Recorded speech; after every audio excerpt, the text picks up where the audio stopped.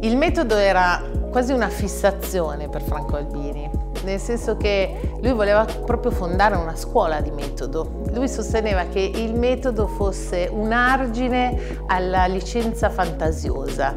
Eh, Albini invece eh, voleva testare l'intuizione e testava l'intuizione nel tempo con una ricerca, quella che Le Corbusier poi definiva la ricerca paziente, per cui le sue opere eh, duravano anche, avevano un iter progettuale anche di 15-20 anni, e, mh, proprio perché lui sosteneva che la licenza fantasiosa non ti permette di arrivare all'anima delle cose. E quello che deve fare un buon architetto è tradurre l'anima delle cose in una forma.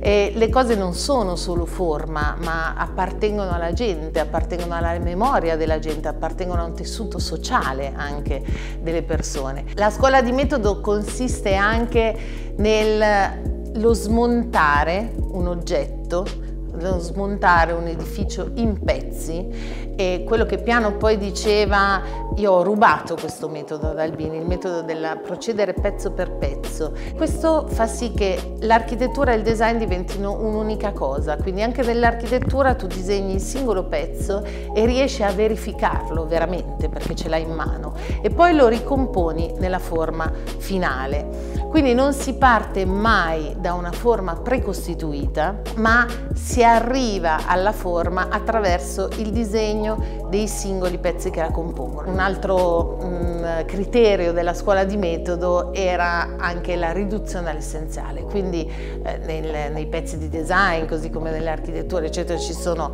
le parti solide e le parti tese, no? quindi queste parti tese che eh, eh riconosciamo in nell'utilizzo del cavo, per esempio, no? cioè, quindi tutte queste, queste parti che sono queste congiunzioni sottilissime che riducono il pezzo il più possibile mh, proprio per arrivare all'anima delle cose.